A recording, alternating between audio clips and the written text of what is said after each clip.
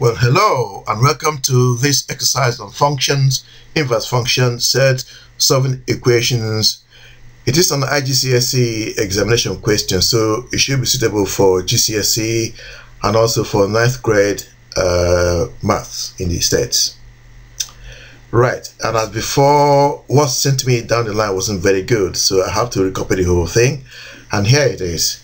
We're given that uh, f of x is equal to x squared and also that g of x is equal to x plus 3 and we're asked to solve uh, f of g is equal to f of x.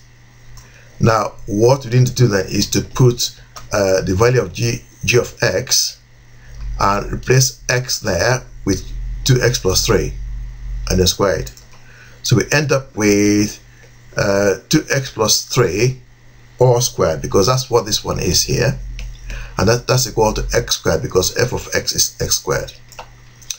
If we open the brackets on this one, we end up with uh, 4x squared plus 12x plus 9 is equal to x squared. If we then take x, sorry, if we then take x squared across, the sign will change, so it becomes 4x squared minus x squared, and we end up with 3x squared plus 12x plus 9 is equal to 0. Now I can see here that 3 is common to every term here.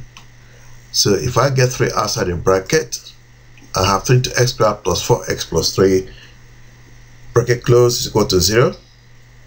Then next, so we need to factorize this now.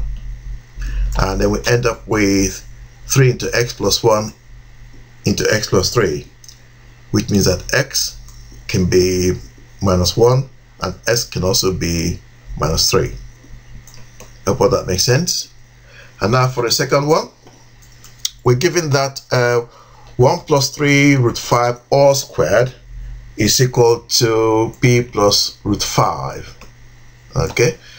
Uh, we're asked to uh, p and q are integers. We're asked to find the values of p and the value of q. Now if I uh, expand this uh, 1 plus 3 root 5 all squared I get 1 squared plus 2 times 3 root 5 plus 3 root 5 all squared here so that would then give me uh, 1 square plus 6 root 5 plus 9 times 5 because uh, if you square this one here it becomes 9 and root 5 squared is 5 so that's 9 times 5 45 and then if we then so, okay 9 5 45 if we then add 1 and 45 we end up with 46 plus 6 root 5 so which that means that uh, p is 46 there and Q is 6 there. And I hope all that made some sense. Please subscribe and thank you for watching. I'll see you again sometime. Bye bye.